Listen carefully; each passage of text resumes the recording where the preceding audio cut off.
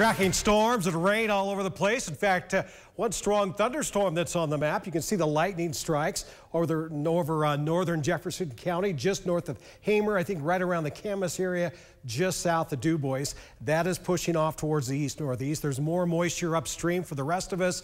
So, yeah, we're still in for a wet one this evening. A lot of this will die down as we lose some of the energy of the atmosphere that drives uh, these showers and thunderstorms. But we're still under the influence of low pressure, which is centered right over the Gem State. This will wobble eastward tomorrow and we'll be on the wraparound side of that moisture of that low pressure system. So yeah, we got more rain in the forecast for tomorrow and a risk of more thunderstorms, but this low will be well to our east by Wednesday and that will set the stage for a nice and very warm start to July. So yeah, we just get through the next day or two. Still pretty wet out there and certainly on the cool side, especially in the afternoon.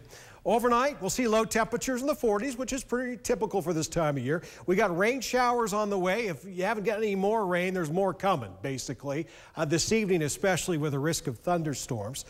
We're looking at scattered rain showers and thunderstorms to the central mountains. So less of the widespread stuff, more of the hit and miss. Low temperatures will range from the mid 30s to lower 40s.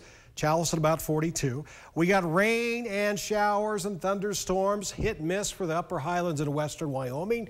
Lows will stay above freezing, but snow levels dropping down to about 7,500 feet. So Yellowstone will see a rain snow mix later tonight. And then for the southeastern corner of the state, rain showers, widespread, a risk of thunderstorms, especially this evening. Lows generally in the 40s and another wet day tomorrow with a risk of more thunderstorms. High temperatures will hit 60, and I think in Lava Hot Springs, they'll be one of the lucky few. Montpelier still in the 50s. In fact, a little cooler than it was today.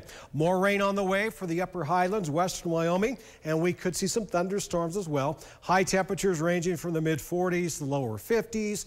And it looks like for the uh, central mountains, Another wet day with a risk of thunderstorms. At least a few of us will be in the 60s. And for the Snake River Plain, same thing. We could see some thunderstorms as well. High of about 60 in Pocatello. Maybe not quite as cool as it was today, but still way below average. Southeast Idaho Chevy dealer seven-day forecast. Look at Wednesday. Ooh, okay. We like Wednesday. First day of July, right? Partly sunny and it gets even warmer as we get into July 4th, Saturday, 87, very warm weekend and storm free.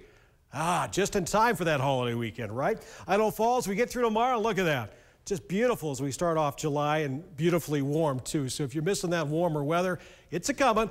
Just take a few days to get here. For the Teton area, we got warming, warming temperatures starting Wednesday and drier as well. High temperatures warming in the 70s and dry through the holiday weekend. Central Mountains, Dry after tomorrow. We could see some showers and thunderstorms late in the day on Friday, but warm and dry this weekend.